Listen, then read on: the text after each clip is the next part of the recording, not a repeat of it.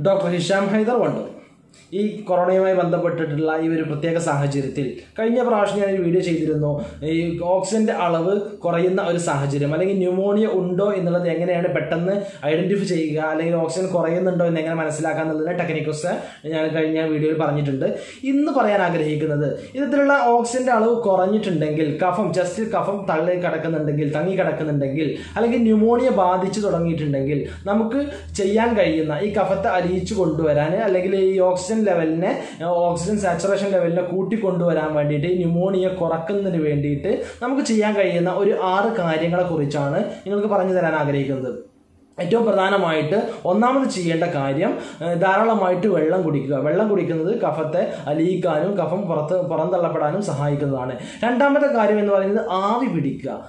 ഒരു തിളച്ച വെള്ളം എടുത്തിട്ട് അത് ജസ്റ്റ് മരുന്നൊന്നും ഉപയോഗിക്കേണ്ടതില്ല. ജസ്റ്റ് ആവി പിടിച്ചാൽ മാത്രം മതി. ഒരു മൂന്ന് പ്രാവശ്യം രാവിലെ ഉച്ചയ്ക്ക് രാത്രി അങ്ങനെ മൂന്ന് പ്രാവശ്യം ഒരു പത്ത് മിനിറ്റ് വീതം സമയമെടുത്തുകൊണ്ട് ആവി പിടിക്കുന്നത് ഈ കഫത്തെ അലിയിക്കാനും കഫത്തിന്റെ കട്ടി കുറക്കാനും അത് പുറന്തള്ളാനും നമ്മെ സഹായിക്കുന്നതാണ്.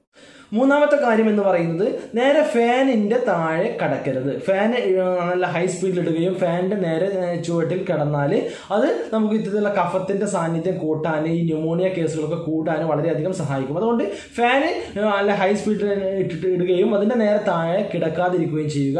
വളരെ ലൈറ്റായിട്ട് ഫാൻ ഇടുകയും കുറച്ച് മാറിയിട്ട് കിടക്കുകയും ചെയ്യുക. ഇനി എ സി ആണെങ്കിൽ ഇരുപത്തഞ്ച് സ്പീഡിലൊക്കെ ഇട്ടിട്ടാണെങ്കിൽ എ സി വലിയ കുഴപ്പമില്ലാതെ മുന്നോട്ട് പോകാൻ കഴിയും.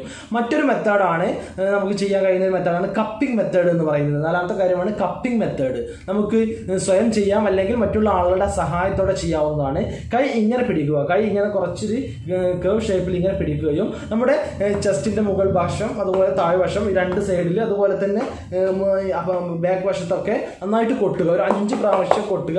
അടുത്ത സ്ഥലം അഞ്ച് പ്രാവശ്യം കൊട്ടുക. ഇങ്ങനെ മാറി മാറി ചെയ്യുക. ഇത് കപ്പിംഗ് മെത്തേഡാണ് അത് ആ നമ്മുടെ ശ്വാസകോശത്തിൽ അടിഞ്ഞു കൂടിയിട്ടുള്ള ഈ കഫത്തെ ഒന്ന് കെട്ടിക്കിടക്കുന്ന ഈ കഫത്തെ അലിയിക്കാനും അത് അതിന്റെ മുകളിലും സൈഡിലൊക്കെ അടിഞ്ഞു കൂടിയിട്ടുള്ള ഈ കഫത്തെ പുറം തള്ളപ്പെടാനും ഈ ഒരു കപ്പിംഗ് മെത്തേഡ് സഹായിക്കുന്നതാണ്.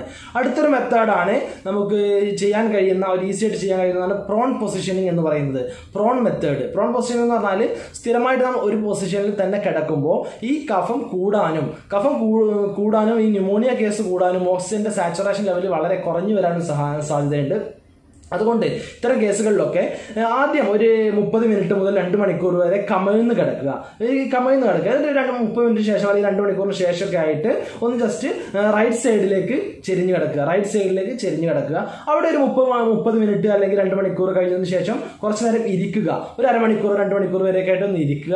അതിനുശേഷം വീണ്ടും ലെഫ്റ്റ് സൈഡിലേക്ക് ചെരിഞ്ഞ് കിടക്കുക. ലെഫ്റ്റ് സൈഡിലേക്ക് ഇത്ര നേരം തന്നെ ചെരിഞ്ഞ് കിടക്കുക. ഇത് വീണ്ടും റൊട്ടേറ്റ് ചെയ്തുകൊണ്ടേ ഇരിക്കുക ഇത് ഒരു സൈഡിൽ തന്നെ ഏഹ്, ഒരു സൈഡിൽ തന്നെ ഇത്തരത്തിലുള്ള കഫം സ്യൂട്ടം അടിഞ്ഞു കൂടാതിരിക്കാനും ഇങ്ങനെ ന്യൂമോണിയ കൂടാതിരിക്കാനും സഹായിക്കും. അത് കുറച്ച് കൊണ്ടുവരാൻ ഇത് വളരെയധികം ഫലപ്രദമാണ്. ആറാമത്തെ ലാസ്റ്റത്തെ ഒരു കാര്യം എന്ന് പറയുന്നത് ബ്രീത്തിങ് എക്സസൈസ് ആണ്. ശ്വസന വ്യായാമം എന്ന് പറയുന്നത്. നമ്മൾ എല്ലാവരും ഒന്ന് ഫ്രീ ആയിട്ട് നിൽക്കുക. എന്നിട്ട് ജസ്റ്റ് ഒരു ഡീപ്പ് ഇൻസ്പിറേഷൻ നല്ലൊരു ശ്വാസം ഉള്ളിലേക്ക് നന്നായിട്ടൊന്ന് വലിക്കുക. ശ്വാസം ഉള്ളിലേക്ക് വലിച്ചു കഴിഞ്ഞിട്ട് ഒരു അഞ്ച് സെക്കൻഡ് അവിടെ ഹോൾഡ് ചെയ്ത് പിടിക്കുക.